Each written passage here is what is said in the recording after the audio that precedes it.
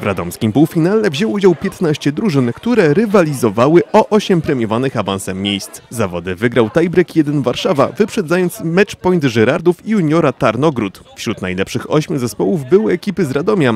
Drużyna Akademii Tenisowej Masters zajęła piąte miejsce, natomiast szóstą pozycję wywalczył zespół AG Tenis Chorzowska. Talent Jada to impreza dla dzieci, której program obejmuje różne dyscypliny i konkurencje sportowe. Są wśród nich m.in. gry zespołowe czy zawody z elementami tenisa. Finał Talempiad odbędzie się w Radomiu na kortach Mosirów w dniach 15-16 czerwca.